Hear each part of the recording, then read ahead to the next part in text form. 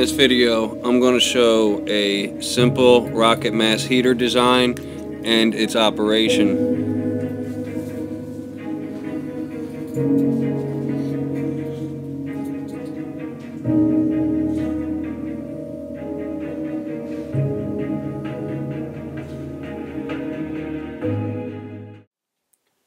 Here is a basic diagram of a rocket mass heater showing where the burn chamber is, how the fire goes up the center stack, comes down the outside, and goes out the flue. Here is a little more in-depth version of the same thing. Uh, you can refine these quite a bit.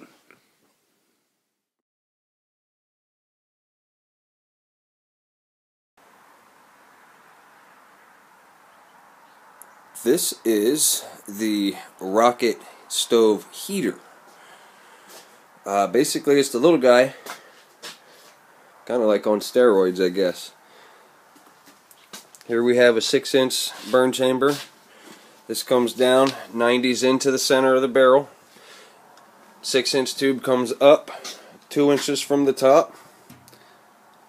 And uh, it'll it'll draft just the same as the little guy.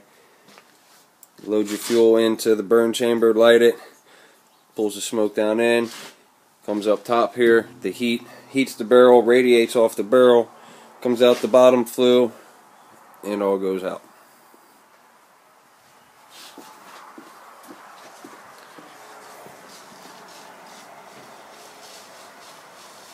This is a completed version that would go in a house you can see how refined these will get and this shows the mass that will retain the heat after the fire goes out in the bench.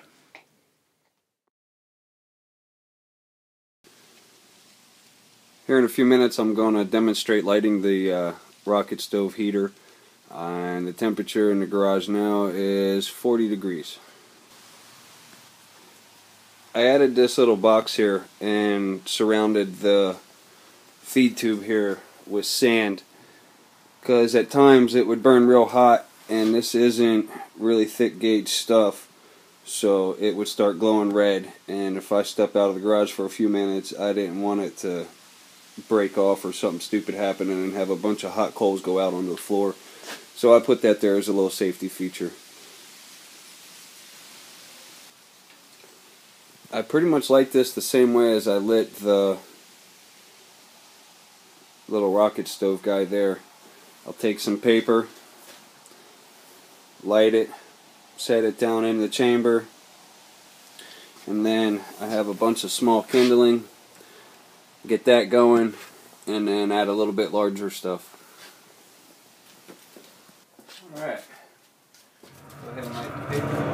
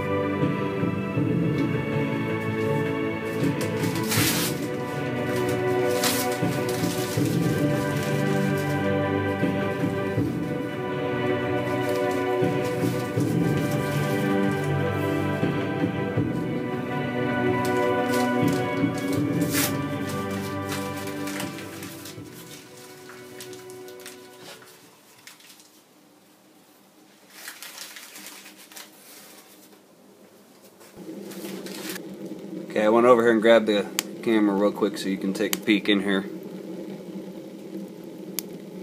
It already has that nice rocket stove sound going. And that's pretty much how easy it is to light this. And, uh, you know, once it gets going real good, I can fill the whole burn chamber up. And, uh, I'll go ahead and pause it and let her get going and then I'll show you guys uh, the burn chamber filled up completely. There she is all loaded up.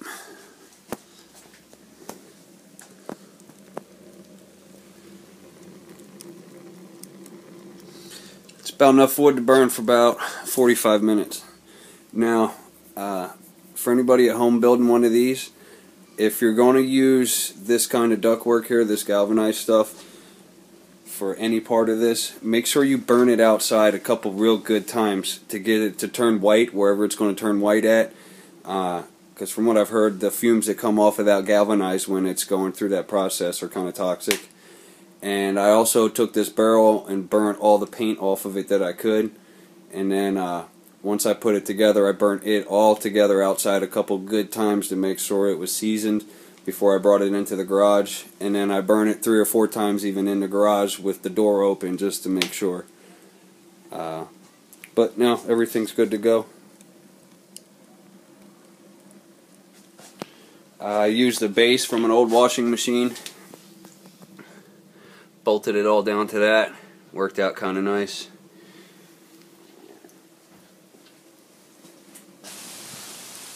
Just like the small rocket stove, the rocket heater uh, has excellent combustion. There's zero smoke that comes out of this once it's going.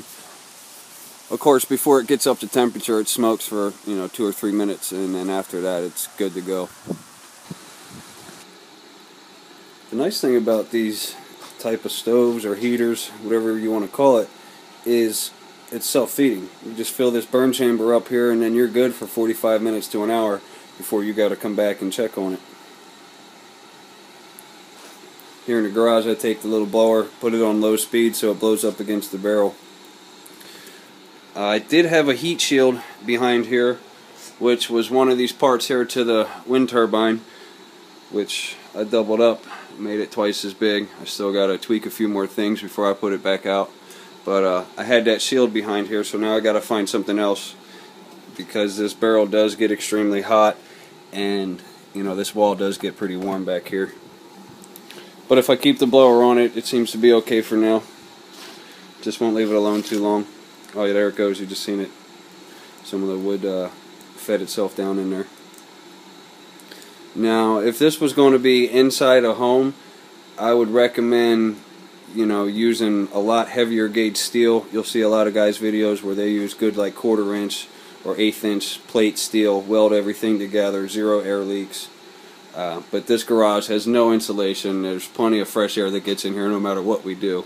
So even if there is a couple small leaks here, I'm not worried about it. She's been burning for about 10 minutes now. You can see we've ate up probably about a third of the wood. Everything seems to be up to temperature and you can hear nice the rocket uh, the rocket sound everybody talks about from the air moving down and burning.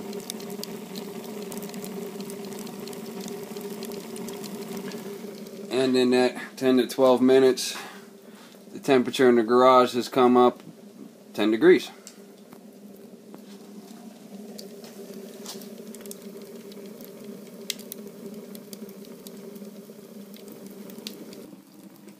We are about 25 28 minutes into it. There's a good shot. Temperature is almost 60.